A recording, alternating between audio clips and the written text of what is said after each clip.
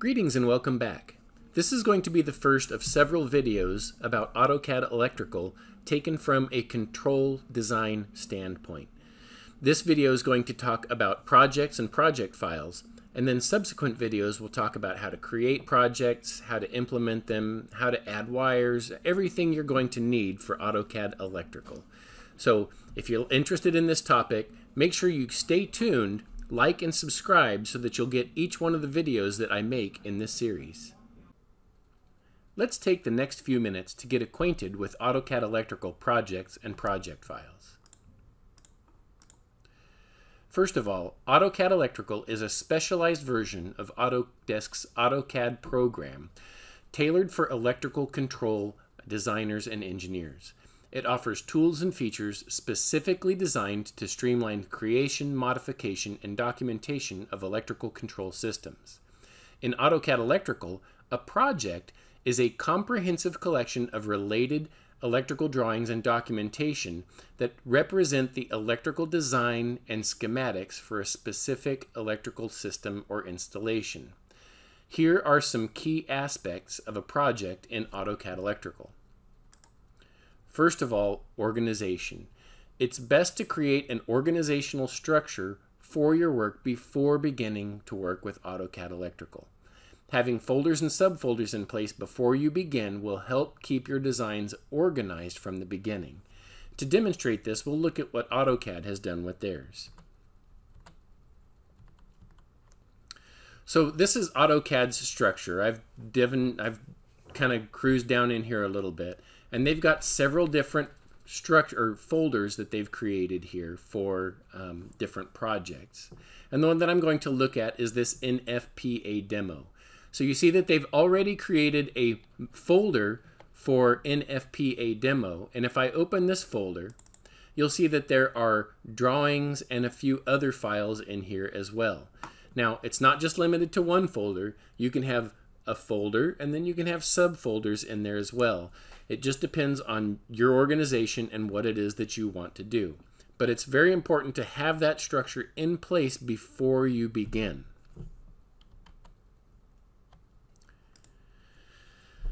The next thing we want to talk about is this project file. It's a, it's a text file with the extension .wdp.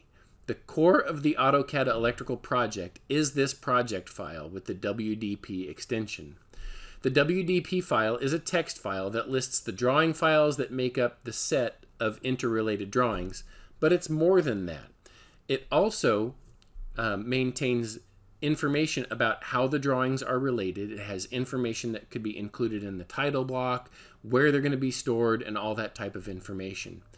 Every time you make a change to one of your drawings and how they're related to each other, it updates this WDP file. So let's take a look at this WDP file. You'll see here that I've got this WDP file right here, NFPA demo. If I right click on it and I choose open with notepad, it just opens up a text file that has some information in it.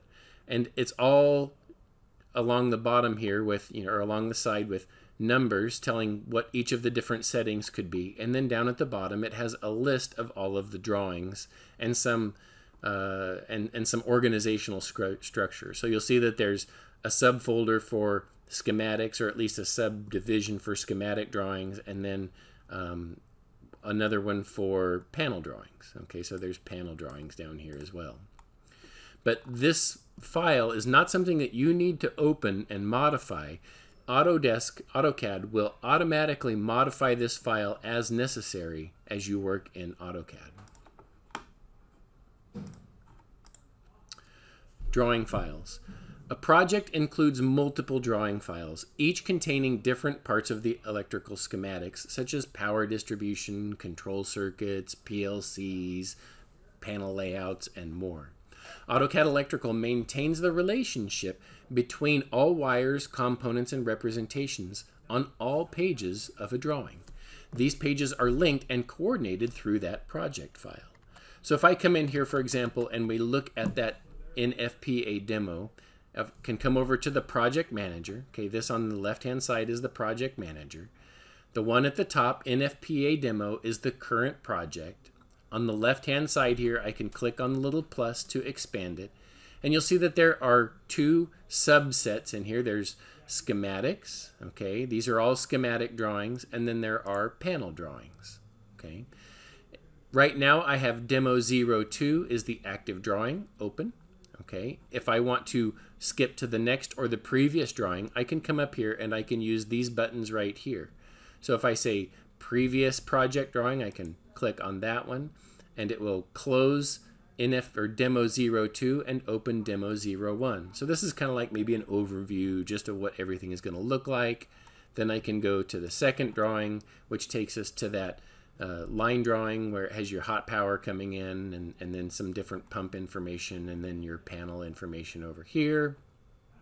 I can skip to number three and so on. Or if I wanted to, I could come all the way down here and I could just double click on demo 08 and open this panel drawing. So this is the panel layout showing the front view of the panel and the side view of the panel and how the buttons would be situated. It also has down here at the bottom a, uh, a schematic or a, a bill of materials for all of the different buttons that might be used. But all of these different drawings are all related and they're all organized by that WDP file that we looked at a moment ago. Project settings. The project file contains global settings and configurations that apply to all of the drawings within the project. These settings include drawing templates, title blocks, layer standards, wire numbering, component tagging, and more. You'll be learning about those as we go through this set.